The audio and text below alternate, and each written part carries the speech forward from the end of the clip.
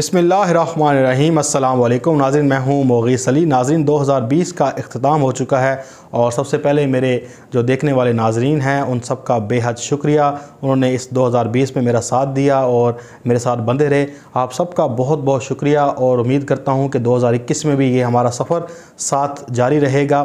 اب کچھ بات کر لیتے ہیں۔ دو ہزار بیس کے حوالے سے کہ دو ہزار بیس میں گیارہ جماعتوں کا اتحاد حکومت گرانے کے لیے نکلا تھا، لیکن ان سب کے ارمان آنسوں میں بہہ چکے ہیں اور ساتھ میں ان وظیفہ خور صحافیوں کے بھی ارمان آنسوں میں بہہ گئے، جو یہ سمجھتے تھے کہ دو ہزار بیس عمران خان صاحب کی حکومت کے لیے آخری سال ہوگا اور دھمکیاں بھی آتی رہیں، بہت سے دعوے بھی ہوتے رہے۔ ان سب پر بات کریں گے، پوری دو ہزار بیس کی جو ایک سچویشن تھی، اس کے اوپر بھی تھوڑا سا ہم بات کریں گے۔ پھر آنے والے دو دو ہزار اکیس ہے، اس حوالے سے بات کر لیں گے۔ تو پہلے بات کر لیتے ہیں کہ عمران خان صاحب کی حکومت کو کن کن چیلنجز کا اس جو ہے دو ہزار بیس میں سامنا کرنا پڑا۔ سب سے بڑا جو عمران خان صاحب کے لیے چیلنج تھا، کیونکہ دو ہزار بیس میں عمران خان صاحب نے خود وعدہ کیا تھا کہ اب ہماری اکانومی جو ہے وہ بوسٹ کرے گی اور ہم نے اب ایک ترقی یافتہ ملک بننا ہے۔ لیکن درمیان میں کیا ہوا کہ کرونا وائرس کی وجہ سے نہ صرف پاکستان بلکہ دنیا بھر میں جو معیشت تھی، ان کو بڑا نقصان پہنچا، دھچکا لگا۔ لیکن عمران خان صاحب کی بڑی ہی زبردست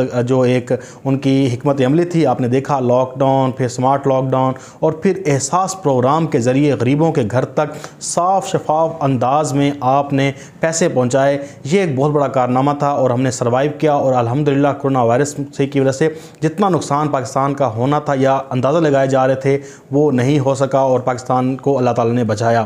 اس کے ساتھ ساتھ معیشت بہت زیادہ خراب رہی اور کیونکہ اس کی وجہ پاکستان کا قرضوں میں ڈوبا ہونا، پاکستان کے جو ادارے ہیں ان کا مفلوج ہونا، ایک سسٹم نہ ہونا، اس کے بعد مافیاز کا اس کے اوپر جکڑا ہوا ہونا، یہ سب کچھ جو ہے ہمیں یہ چیز دیکھ دکھاتا تھا اور ہم دیکھ رہے تھے کہ پاکستان میں اس وقت مافیا کا قبضہ تھا۔ عمران خان صاحب نے آہستہ آہستہ ان سے جان چھڑانے کی کوششیں کی اور ابھی تک کوششیں جاری ہیں۔ لیکن فی الحال جو ہمیں نظر آ رہا ہے کہ پاکستان ایک اب ترقی کے جو راستے پہ ہے، گامزن ہے اب اکانومی کے حوالے سے بڑی اچھی خبریں آ رہی ہیں، جو ہم فیصلہ آباد میں دیکھتے ہیں، سیالکوٹ میں دیکھتے ہیں، اس کے علاوہ آٹو انڈسٹری دیکھتے ہیں، کار پروڈکشن دیکھتے ہیں، اس کے علاوہ آپ موبائل فونز دیکھتے ہیں اور پاکستان کے زراعت دیکھتے ہیں۔ ان سب میں ہمیں ایک بوسٹ نظر آ رہا ہے۔ لوگ جو ہیں، اب لوگوں کے گھروں میں پیسے بھی آ رہے ہیں، انکم بھی آ رہی ہے۔ ایک جو لوگ ہیں، جو آپ کو پتا ان کا کام پروپیگنڈا ہوتا ہے۔ انہوں نے کبھی نہیں ماننا کہ پاکستان میں حالات کبھی بھی صحیح ہوں گے یا نہیں ہوں گے۔ اس کے بعد عمران خان صاحب کی ایک حکومت کو جو چیلنج تھا، وہ یہی تھا کہ ایڈمنسٹریشن جو ہے، اسے کس طرح سے انہوں نے کرنا ہے، ان کے وزراء جو ہے، ان کو بڑی پرابلمز آئی خاص طور پہ بیوروکریسی کی وجہ سے۔ کیونکہ بیوروکریسی کوئی کام کرنے کو تیار نہیں تھی۔ ایک تو ان بیوروکریسی کا مسئلہ یہ تھا کہ ان کو لگایا تھا، نواز شریف اور زداری نے، یہ ابھی تک انہی کے ذہنی طور پر غلام تھے اور وہ عمران خان صاحب کی حکومت کو دل سے تسلیم نہیں کر رہے تھے۔ اور وہ یہ سمجھتے تھے کہ پاکستان میں عمران خان صاحب کی حکومت دو ہزار بیس میں ختم ہو جائے گی۔ لیکن پھر اب جا کے بیوروکریسی کو بھی یقین آ گیا ہے کہ اگلے پانچ سال عمران خان صاحب کی حکومت کہیں نہیں جا رہی۔ اور عمران خان صاحب ڈنکے کی چوٹ پر پورے پانچ سال کریں گے۔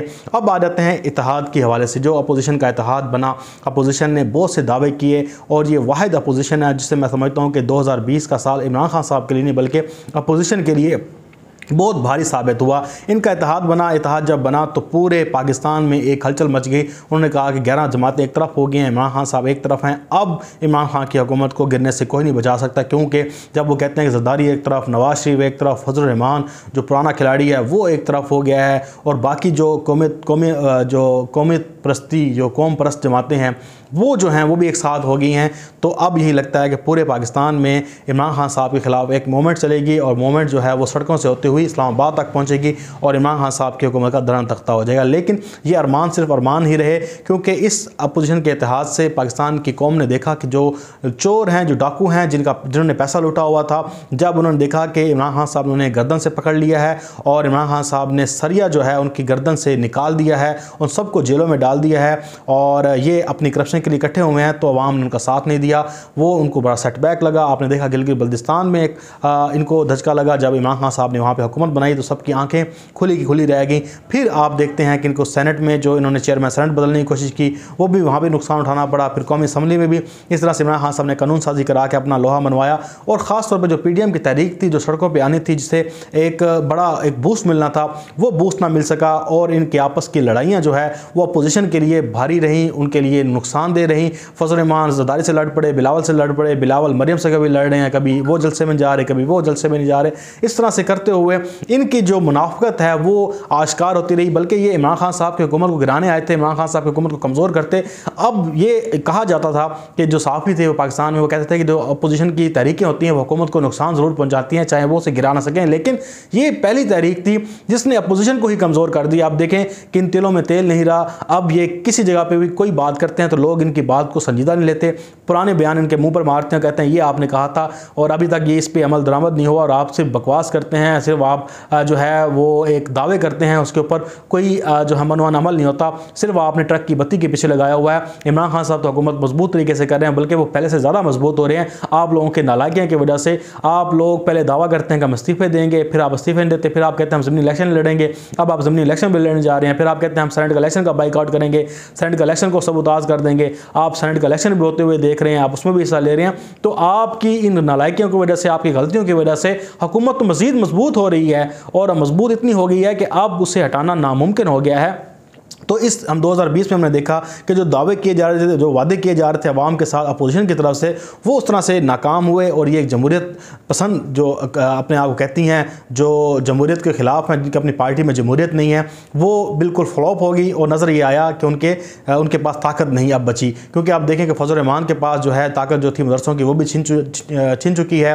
ان کے پاس جو ہے، ان کی پارٹی ٹوٹ پھوٹ کا شکار ہے۔ مریم نواز خود اپنی پارٹی میں جو ہیں، وہ ان وہ جذب نہیں ہو رہی۔ ان کو ان کو ان کو ان کو اس طرح سے لیا نہیں جا رہا کیونکہ ایک لیڈر کے طور پر شہباز شریف کا کنٹرول ابھی بھی ہے، ظاہری بات ہے۔ مسلم لیگ نون میں بھی ایک دراڑ پڑ گئی اور ان کے لوگ جو ہیں وہ ڈیوائیڈ ہو گئے۔ اس طرح سے پیپلز پارٹی کے لوگ بھی ڈیوائیڈ ہوئے اور ان کو بھی ایک منافقانہ چہرہ ہمارے سامنے آیا کہ اقتدار کی خاطر وہ بھی اپنا سندھ قربان کرنے کو تیار نہیں ہے اور وہ کہتے ہیں عمران خان صاحب سے کہ ہم یہ عمران خان حکومت چھوڑ دیں۔ اسی طرح سے صحافیوں کی ہم بات کریں، ہم نے پورا سال آپ کو بتایا کہ کتنی سنجیدگی کے ساتھ وہ منہ پہ، پکا منہ بنا کے جھوٹ بولتے تھے۔ سہیل وڑیز صاحب، کھائی قبیلے کے سربراہ، انہوں انہوں نے بڑے کالمز لکھے، بڑی انہوں نے وارداتیں کی، بڑا انہوں نے زور لگایا کبھی مارچ کا ٹائم دیا، کبھی دسمبر کا، تو کبھی اکتوبر کا، کبھی یہ ہو جائے گا، وہ ہو جائے گا، وہ سب ڈرامے بازیاں، سب کچھ جھوٹ بے نقاب ہوتا گیا۔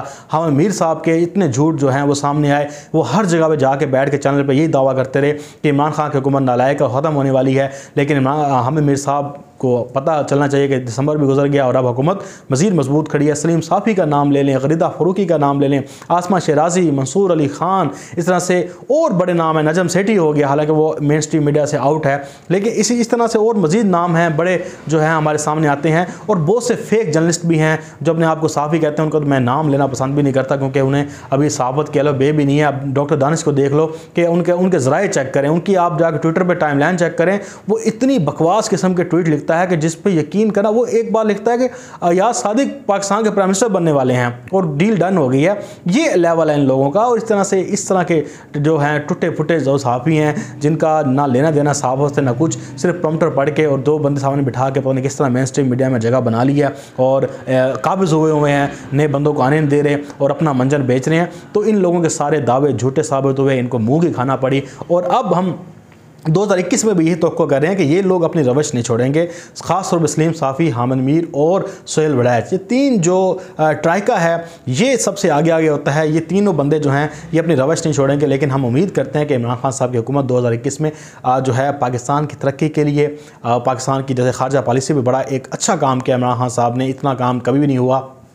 جو خارجہ محاذ پہ کیا، ہم توقع کرتے ہیں کہ پاکستان کو عمران خان صاحب چیلنجز سے جو ہے، وہ نکالیں، جو ہماری ایک ترقی کی راہ پہ اکانومی جو چل پڑی ہے حالات بدل رہے ہیں۔ اسی طرح سے اب اپوزیشن کے ساتھ بھی تو ایک، جو ہے، وہ ان کے ساتھ دو دو ہاتھ تو ہوتے رہیں گے، لیکن پاکستان، اصل چیز ہے پاکستان کو مشکلات سے نکالنا۔ اور ہم امید کریں گے عمران خان صاحب اپنے، جو ہے وی این سے، اپنی طاقت سے، اپنی کیبنٹ کے ذریعے، یا اپنے جو بھی ان کے ان کے ساتھ لوگ ہیں، اس کے ذریعے پاکستان کے لوگوں کو مشکلات سے سے نکالیں، پاکستان کو ترقی کی راہ پر گامزن کریں، اچھے اچھے پروجیکٹس نکالیں، اچھے اچھے لوگوں کو مراد دیں غریب لوگوں کی جو ہے وہ سنی جائے۔ اب بڑے اچھے اقدامات کیے ہیں جو صحت کارڈ ہے، اسی طرح سے اور جو بڑے پروجیکٹس ہیں، جو فلاحی پروجیکٹس ہیں اب مدینہ کی ریاست بنتے ہوئے دیکھ رہے ہیں۔ اور انشاءاللہ ہم اپنی زندگی میں ہی مدینہ کی ریاست بنتے ہوئے دیکھیں گے۔ چاہے مدینہ کی ریاست نہ بنے، لیکن اسی طرز پر ایک فلاحی اسٹیٹ بن جائے، تو یہی ہمارے لیے بڑی ایک بڑی بات ہوگی۔ اور دو ہزار اکیس میں عمران خان صاحب کے لیے اب جو ہے وہ چیلنجز تو ہیں ہی ہیں، لیکن ساتھ میں ترقی کا سال ہے۔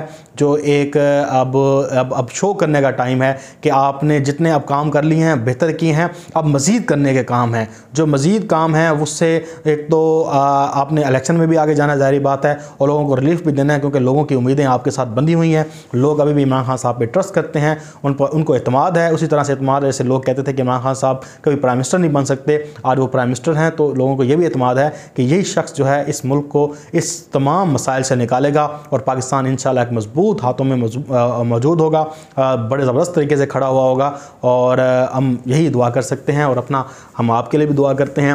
جو میرے ناظرین تھے، ان سب کے لیے میری دعائیں ہیں۔ ان سب کو اللہ تعالیٰ لمبی عمر دے، صحت دے۔ ان کے لیے جو ان کو ان کو مشکلات ہیں، اس کو حل کرے۔ اور میرے لیے بھی دعا کیجیے گا۔ انشاءاللہ ہمارا ساتھ دو ہزار اکیس میں بھی اسی طرح سے جاری رہے گا۔ اور آپ کے آپ کا میرے ساتھ ساتھ دینے کا بہت شکریہ۔ اور اپنا بہت سارا خیال رکھیے گا۔ اللہ حافظ، پاکستان، زندہ باد